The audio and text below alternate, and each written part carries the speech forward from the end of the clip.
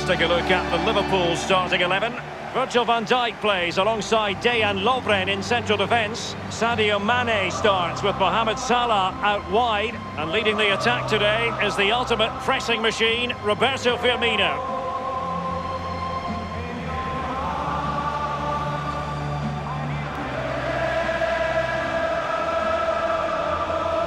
Well, it is true, there's nothing quite like a European night here at iconic Anfield. But Lee Dixon, league nights can be pretty special as well, 1989? It pops into the memory now and again, you're right, but I've never played at a stadium, and I have to say this, I've played all around the world, never played at a stadium that evokes so much emotion just before you go out onto the pitch. That sign that says, this is Anfield, it really puts a shiver down your spine. And the starting players for Real Madrid. Thibaut Courtois, the Belgian, will be in goal. Carvajal plays with Marcelo as fullbacks. Luka Modric plays with Toni Kroos in the centre of the park. And they line up tonight with just the one striker looking to do a bit of damage. Wijnaldum now. And the cross is very much on. Will there be a tangible end product? That really was a terrific save by the Belgian. Oh, Courtois at his best. What a fantastic save.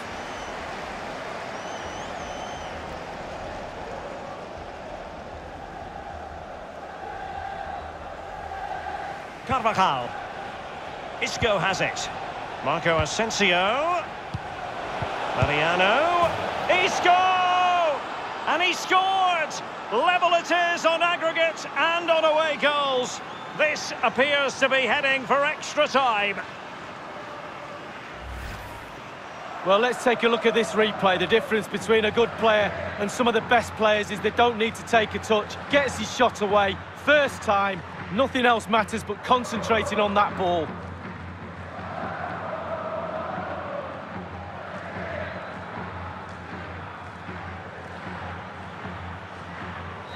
Well, that's it for the 90 minutes. But this is not over, and two 15-minute periods of extra time to come.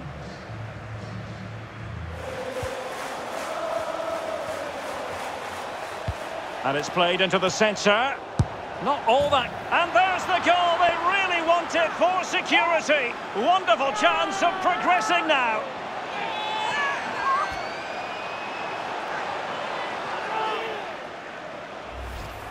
Let's have another look at this. He wasn't expecting the ball, but when it comes to him, he chooses early to volley it. What a finish. Slightly different vantage point in terms of the goal that was scored.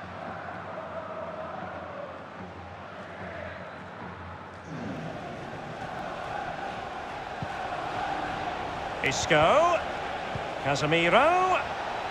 Terrific block there. And close. And close to goal. And it's gone in!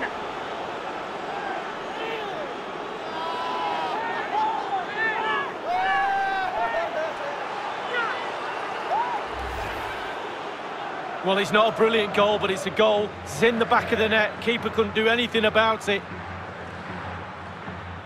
Well, let's go back to the goal that was scored.